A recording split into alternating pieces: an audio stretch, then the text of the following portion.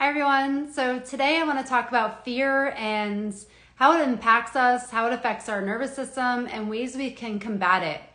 And so, first of all, fear is something we all experience. I mean, every uh, um, part of our life, there's something that we fear. And it is a reality and it is uh, an ever changing thing as well.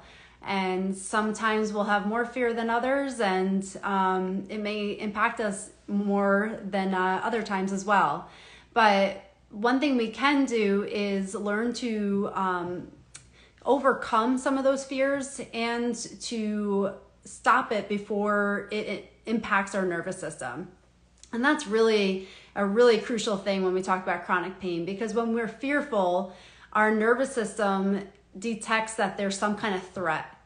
And um, even though if we look around us, there's no threat that's happening um, physically, if we perceive that something is fearful, our nervous system can't differentiate between real and perceived.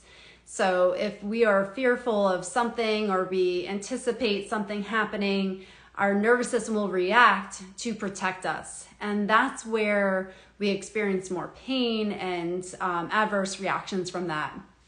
So it's so important that we address fear, especially with chronic pain, because it really does play a significant role. And um, if we can learn how to recognize fear and differentiate between real and perceived fear, then now we have more of an empowering point of view and an empowering stance um, for future um, experiences and to decrease that pain.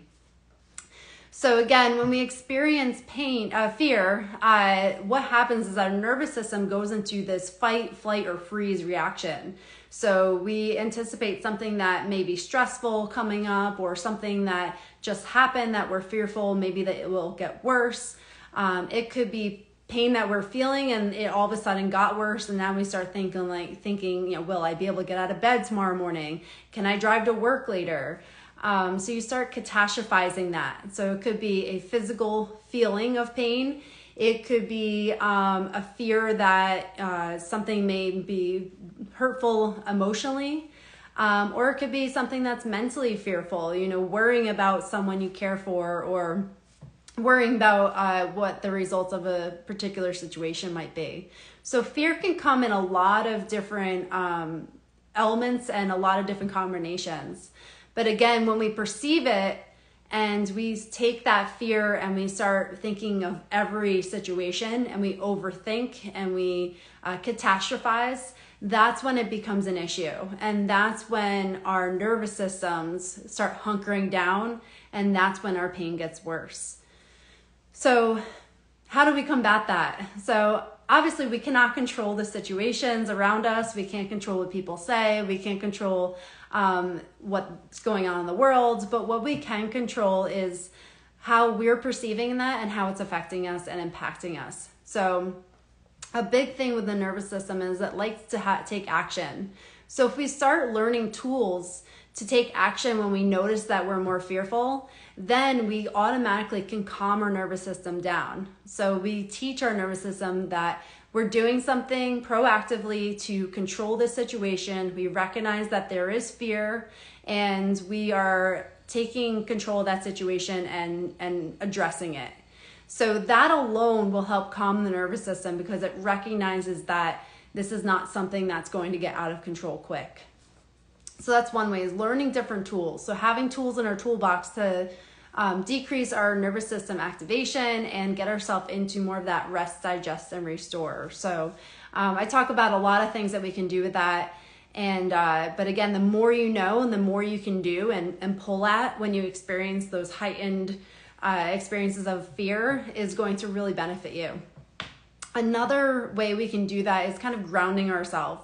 So if you're feeling like you're really fearful and anxious about something that may happen, just recognizing that in this present moment, is there any immediate threat to your system? So that's really crucial to helping your nervous system relax.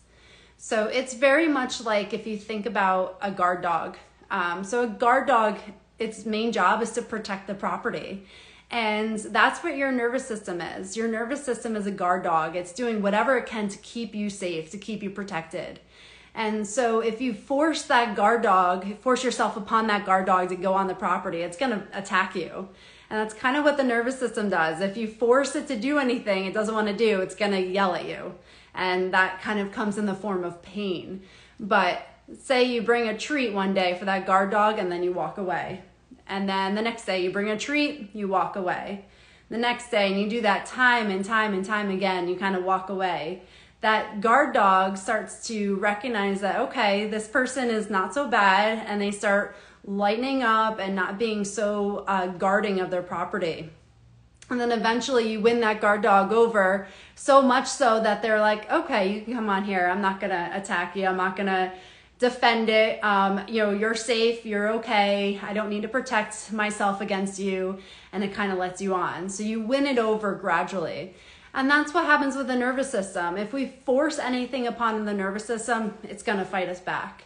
But if we learn to work with the nervous system, we learn to let it feel safe, then that's when we can see real big change. So that's what I wanted to talk about because again, fear is really such a, a big player in uh, in chronic pain. So if we can learn to address that realistically, obviously not getting rid of anything that's fearful, that's just not real life. But if we can learn to help ourselves be in a position that's empowering in fearful situations, then we open ourselves up to a lot of healing. So enjoy your day. I hope that helps. Um, if you have any questions or comments, feel free to pop it below or send me a DM. Um, I would love to hear from you and um, you know reach out with anything that you would like to hear more about. Have a great one.